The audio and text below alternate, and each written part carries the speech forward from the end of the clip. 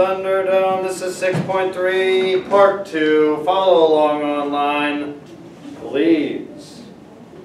Um, so, we're going to pick up in the 14th Amendment. Um, again, we're going through major Supreme Court cases.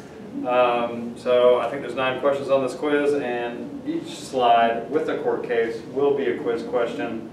Here we go. All right, Dred Scott versus Sandford. Um, so in this situation, um, Dred Scott, formerly a slave, um, the constitutional question was, is Scott a citizen? And that would give him the right to sue somebody in federal court if he was a citizen. And did Scott gain his freedom by moving to a free, a free state? The ruling here, and this is a long time ago, but so no, slaves are not United States citizens. Uh, so yeah, again it says no, uh, slaves are not United States citizens uh, and therefore are not entitled to sue in federal court. No, Scott did not gain his freedom by moving to a free state. Um, and the question here basically, in 1857 was pretty much our slaves people. And it basically said, no, they're more or less property. Okay? So, 14th Amendment, equal protection under the law. That's what the 14th Amendment is about. Um, obviously, here, you can see that the society at the time basically not about it. All right, nowadays, obviously, we're about it, but um, back then, um, they're basically saying that slaves are property and not people. Okay? Um, so that's number one. All right, number two, Plessy versus Ferguson. You might have heard this one before, but uh, you know, a little over 100 years ago. Um, the constitutional question was, are Louisiana's laws requiring separate but equal facilities a violation of the Equal Protection Clause of the 14th Amendment? And this goes to the what you've seen before, uh, you know, um, white schools, uh, African American schools, colored, water fountains is what they called it, right? And then, um, you know, water fountains for white and bathrooms and everything like that is separate, equal. Because remember, the 14th Amendment is saying we have to have equal protection under the law. In 1896, the ruling was separate but equal is okay. Okay? This says ruling, no, separate but equal doctrine is created. Um, Okay. Plessy versus Ferguson basically says, okay, separate but equal, that's just fine. Okay? Um, the next slide, Brown versus Board of Education, it's a different story. So now we fast forward uh, from 1896, uh, you know, about 60 years, and the constitutional question comes up during the civil rights movement. Did separate but equal facilities violate the Equal Protection Clause of the 14th Amendment? Society has changed in 60 years. And the ruling now is yes. The court overturned the ruling in Plessy, saying segregation is not equal. It does not provide equality at all. Uh, and they found this out. I mean, tons of research was done, but, um, you know, all black schools were getting textbooks 40 years old compared to the all-white schools that were getting brand new textbooks. So education, right there, you can see it, it was just not equal. All right, and so they desegregated because of this. Um, and Brown versus Board of Education was a pivotal court case in the Civil Rights Act, the Civil Rights Movement in the uh, 1950s, early 60s. Um, so separate is not equal in Brown versus Board of Education. These things, when you see stuff like this, you know, whenever the uh, death penalty, uh, separate but equal, uh, prohibition even of alcohol, you see these things, they, they, they change with society. As society grows and society changes their viewpoints, society actually changes first and then government changes. That's how it usually goes, okay? Um, all right, next one, uh, Swann versus Charlotte Mecklenburg. Um, I don't know. Is that is this a question on there? Yeah. Okay. For some reason, I just thought that I skipped over this. Uh, okay, so right here in North Carolina, the constitutional question was, uh, were federal courts constitutionally authorized to oversee and produce remedies for state-imposed segregation? So, what if we can't desegregate, right? What if uh, the neighborhood or the town is predominantly white or predominantly black? Um, how do we desegregate those schools?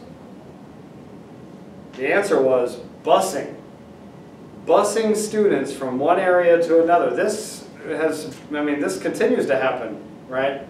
Um, you know, not too long ago here at Ashley High School, uh, you know, we had obviously Carolina Beach, Kure Beach, uh, you know, Pleasure Island as it's known, uh, from Monkey Junction south.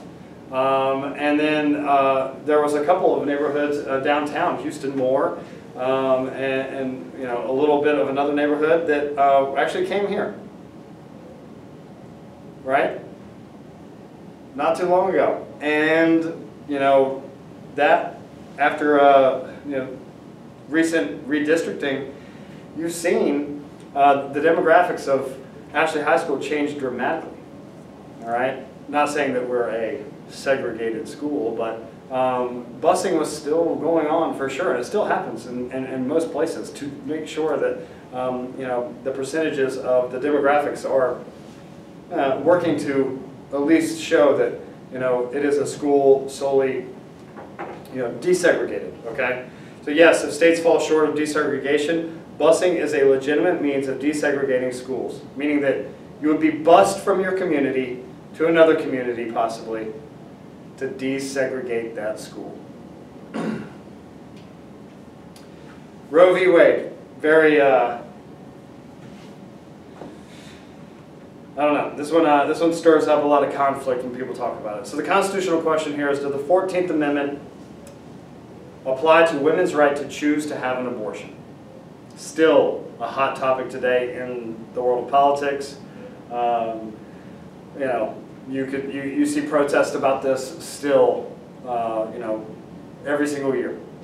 And the ruling was, yes, a woman does have the right to an abortion, right to privacy, but there are limits, only in the first trimester unless the mother's life is at risk. So, an interesting thing here, right? Um, this, is, this right here is one of the debated ones where uh, they think that if the Supreme Court goes a certain way, maybe leans a little right or conservative, that this could be overturned. That a woman would no longer have a right uh, to an abortion unless it was uh, a health risk. Um, so it's an interesting thing. This thing is still going on right now today in this world. So Roe v. Wade, uh, still discussed almost, um, you know, you could turn it on to a news channel, leave it on long enough, and you'd hear it probably within 48 hours uh, being mentioned. So, all right, uh, next one, Regents of the University of California versus Bakke. So uh, the constitutional debate here was um, did the establishment of a special admissions program violate the Equal Protection Clause of the 14th Amendment? Talking about admissions into colleges. Are racial preference, affirmative action, actually accepting people of uh, minority uh, into, or accepting people of minority uh, at a higher rate possibly, um, that's what affirmative action is, you know, kind of to make up for um, lost times. Considerations always unconstitutional. The ruling, yes. The admissions program violated the 14th Amendment. No, race cannot be a factor to ensure diversity, but race cannot be the only factor in determining admission. Um, basically saying that, you know, you have to be careful of what you're doing whenever you're talking about um, ensuring diversity. You have to do it in the right ways. You can't just do it because somebody is of a certain race to check the box. All right, supremacy clause. Let's look at some of these. Um, should be the last two right here. McCulloch versus Maryland. Um, the constitutional question, what powers of the Congress of Congress under the federal system, or what are the powers of Congress under the federal system? Uh, what is the relationship between federal and state authorities? The ruling pretty much is simple. Federal government rules supreme. All right, the necessary and proper clause gives Congress the authority to charter a national bank. Um, and states can't tax federal agencies. States can't tax the supreme, you know, the, the biggest government. Basically this, the Constitution is the law of the land. You cannot do things to go against the Constitution. Uh, the federal government is supreme in its ruling. Okay? So that is McCulloch versus Maryland, a long time ago, 1819. Um, all right, Commerce Clause here, so Gibbons versus Ogden, 1824, again, ancient. Um, so the question here, um, it questioned the Commerce Clause. What can the federal government do uh, to regulate interstate trade? Um, does Congress have the right to regulate navigation as part of interstate trade? As in, let's say that a river separates New York and New Jersey or Pennsylvania or something like that. Who has rights to it? Who gets to do what on there? Well, that's up to the federal government because it's in between state lines. It's an interstate problem. So if so, how much and is this a concurrent power share with the states? The ruling. Congress has the right to regulate navigation as a part of interstate commerce. Congress can't regulate trade that is contained within the boundary of a state, but can once the boundary has been crossed. Once you cross state lines, it becomes a federal government problem. If it's contained within the state, fine. Right? if we're just trading, you know, here in North Carolina, I guess it'd be like, if tobacco was contained, contained here in North Carolina, then federal government would have, wouldn't be able to touch us. But you know the tobacco grown in North Carolina is sold into other states, and that becomes a federal government deal. Same with like hog farming. Do we just sell bacon to North Carolinians? No, we don't. You know that it is pushed out to other states.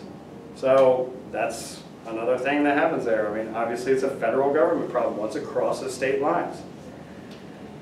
Uh, Heart of Atlanta Motel versus the United States in 1964. This kind of goes around along with the uh, Civil Rights Act. So, uh, is the Civil Rights Act unconstitutional because Congress exceeded its power to regulate commerce?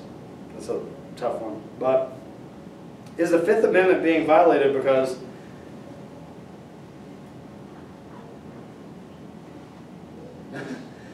you, you get two attempts no matter what. Um, so is the Fifth Amendment being violated because a business is not free to choose its customers, depriving them of due process? Basically saying, can you deny somebody to stay at your motel because they're of a different race than what you want to stay at your motel? Is requiring businesses to serve all people in voluntary servitude therefore a violation of the 13th Amendment? And the ruling the Civil Rights Act is constitutional because the Commerce Clause permitted Congress to regulate interstate trade and can't deny anybody because of their race.